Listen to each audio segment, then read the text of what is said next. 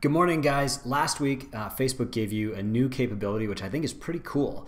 You can now, instead of a Facebook cover photo, you can have a video in there. So if you click here, change cover, you should see upload photo or video. If you don't, and about 20% of you won't yet, just let me know and I can tell you the little hack that will get you that capability.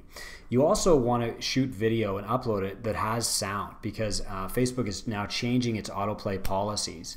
So when somebody comes to your Facebook page on mobile, very soon the sound will autoplay. This is new. Um, and Facebook is kind of just going in that direction.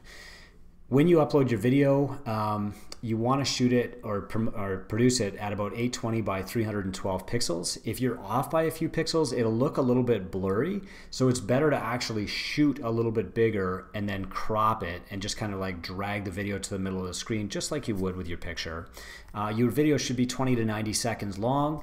I went for about a minute here, um, but when you put this up too, you can also turn it into a video ad and then retarget the people who are watching the video ad.